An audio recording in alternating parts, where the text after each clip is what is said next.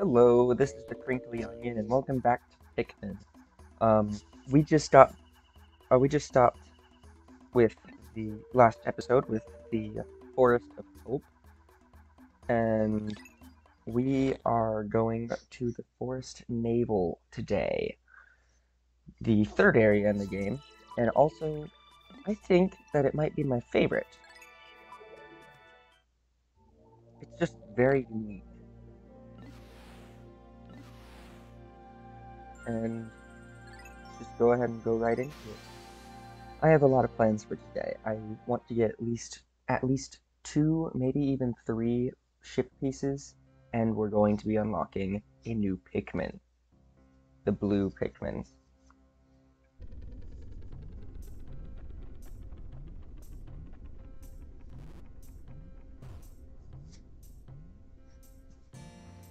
Listen to that music. Oh my gosh. It's grooving. Alright, so the very first thing I'm going to do, I'm gonna pull out, I'd say, 40 reds.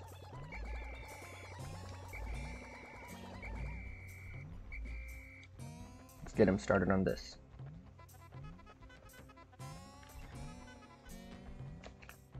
Get to work.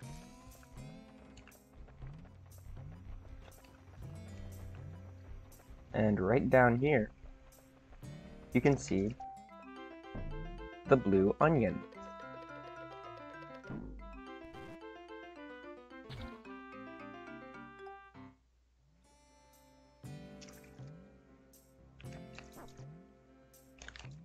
And now we have a new Pikmin population to start growing ourselves. Oh, crap.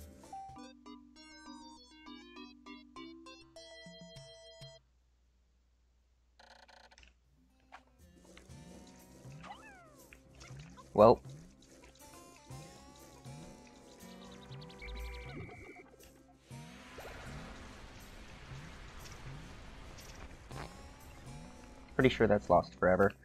That is a bread bug.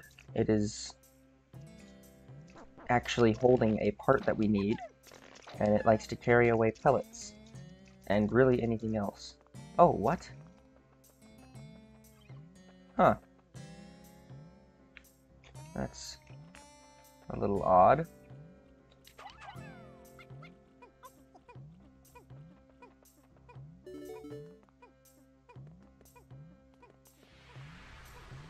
Well, either way, we're just gonna keep this here in case he comes back. There's actually something that I'm looking to do. Alright, I think he's he's running this way. Let's see what he goes for.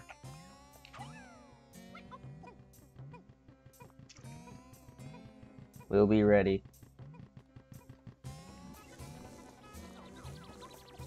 This guy was actually originally just joking to me, but he actually made it for two more games.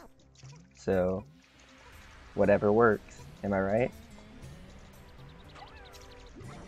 There we go. And that's almost enough to take him down. Just another solid whack should take care of him. And there we go. Thank goodness, my space float. This float is an absolute necessity for any pilot that lacks skill at swimming in space.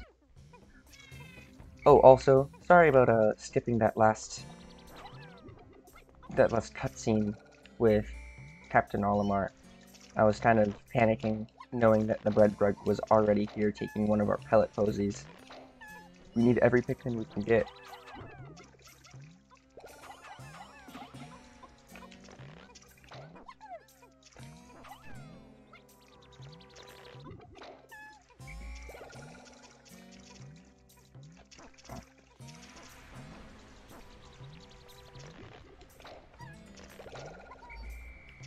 We already have 19 blues.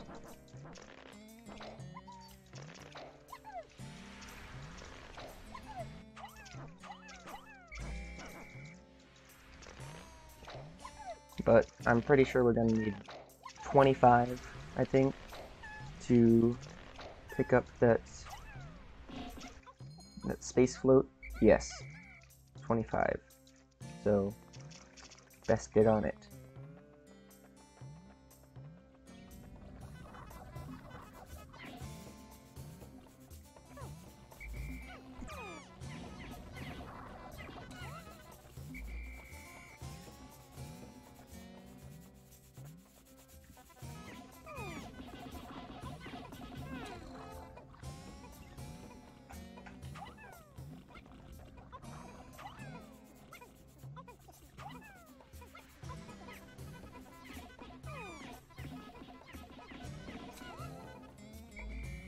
Why don't they die? That that was that was so annoying. We just lost like three Pikmin.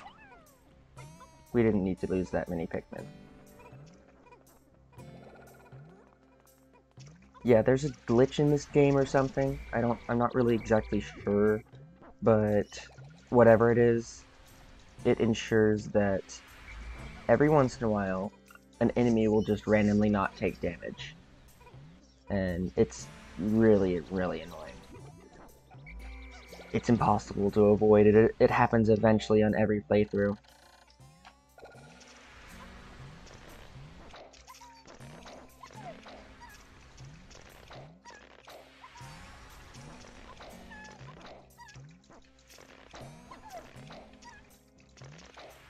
Alright, I believe we'll have enough for the space float now. So, can go ahead and go swarm this thing right here. Go ahead and carry it up. Yes, we have plenty. Go ahead, drive on. There you go. And now, while we're waiting for that, for that, I'm going to go get the Reds, who have just recently finished building a taking down the gate, actually. And I'm going to go use these guys to, to get myself the second part of the day.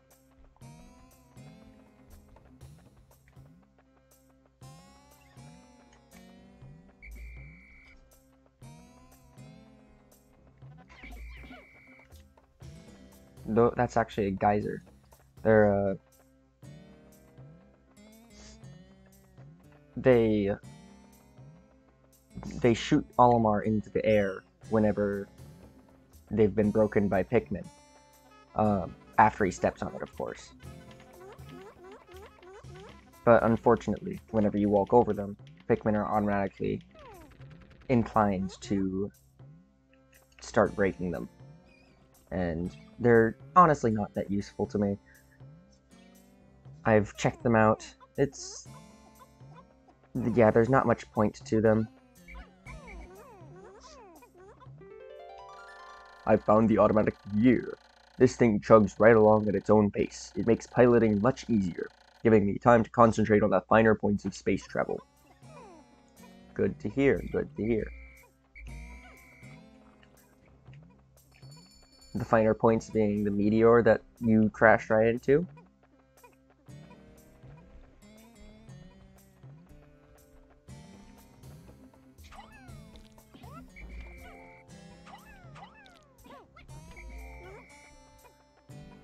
Alright. And while they're working on that, I'm going to have these reds working on that bridge so that everyone's always doing something.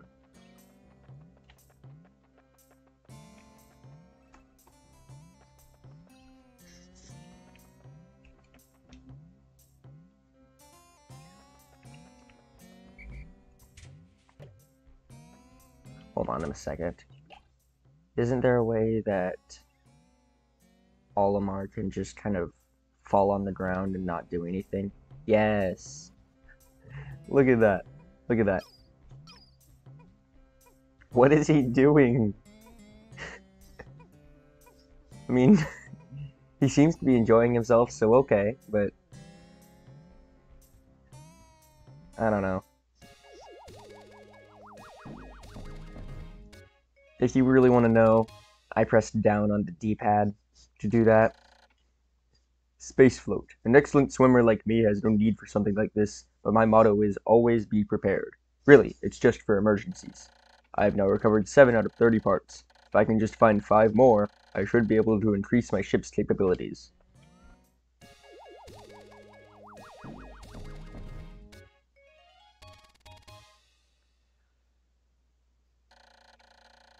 Automatic gear. It has thin cracks running through it. I tried to fill them with dirt. I hope it will be alright. I have now recovered 8 out of 30 parts. If I can just find 4 more, I should be able to increase my ship's capabilities. Let me just get over there real quick. Alright, enough messing around. I got important things to do today. Blues, come with me. Y'all got things to do people to be, places to see.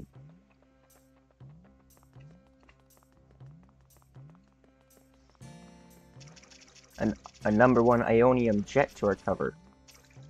Here we go. Go get it.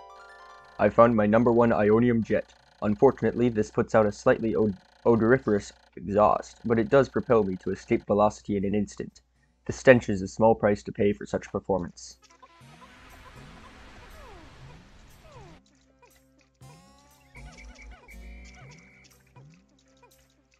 Olimar does not get enough credit for uh for what he does here.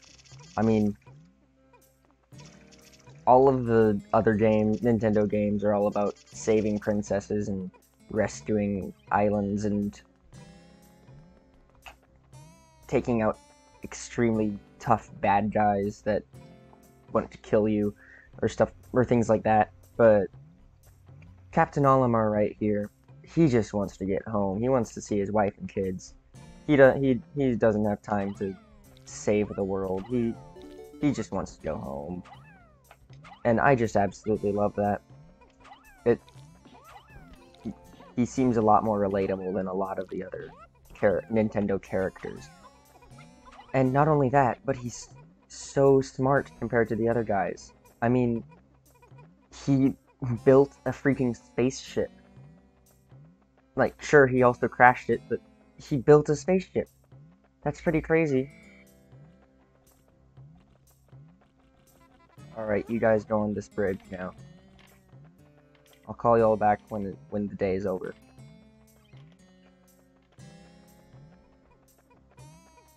You have to be extremely intelligent to even know a bit about rocket science. And this guy, he knows enough to repair an entire spaceship, which is kind of incredible.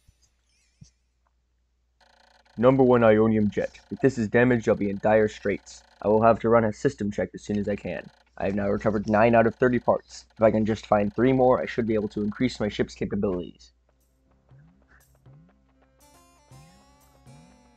And not only that, but, like, people keep calling him Olimar and everything like that. But, truth is, he's a captain. He has the rank of captain. Mm-hmm. That's something to know.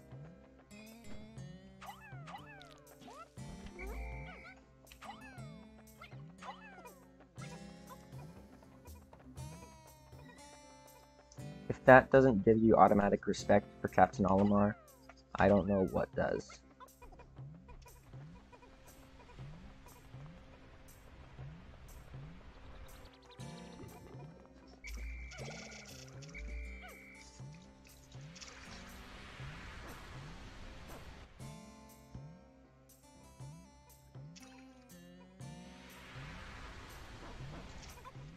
Not only that, but he's also a pretty good micromanager too.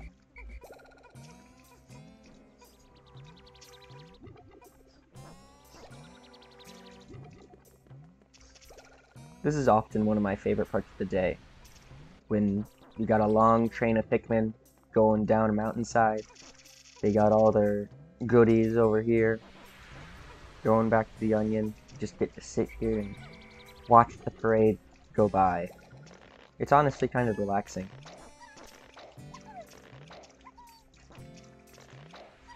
But then you realize you have a YouTube channel, and you gotta keep people entertained. so you gotta keep talking. And you can't think of what to talk about because there's nothing that's going on on the screen, and you get a little uncomfortable. But, you know, oh well. Ooh, one more.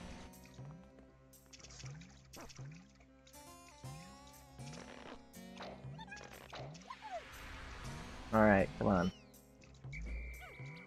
You know what? Yeah, we don't need it. Oh, okay.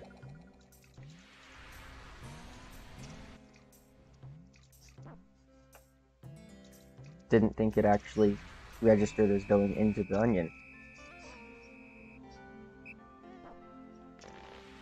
Oh, something interesting about the Forest Navel, it is completely unique to the other areas in, in the series. Because, listen to this music.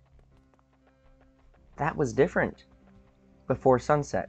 The sunset music is completely different from the music from the rest of the day. The melody changes. That's really cool. Uh-oh.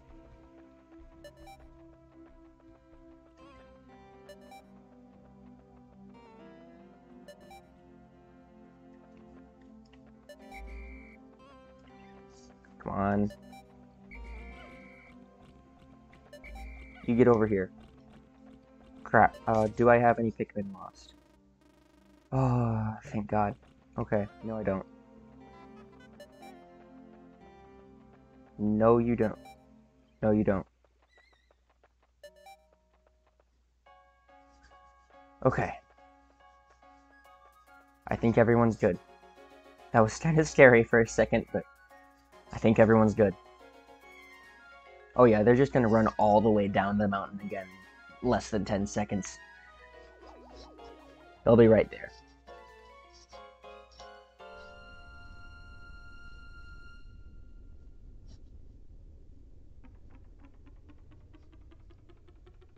We didn't even see that guy today, but I think we will tomorrow.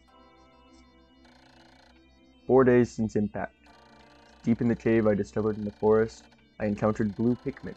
These blue fellows have something resembling gills on their cheeks, and they appear to be amphibious, surviving both in water and on land. The wonders of nature never cease to stun me, even in this alien land. Alright. We didn't affect our yellow or red population at all, but we really increased our blue population up to 44. And we sprouted 47. We lost 3. And we have 100 reds, 102 yellows, and 44 blues. We have 21 parts remaining with 26 days remaining.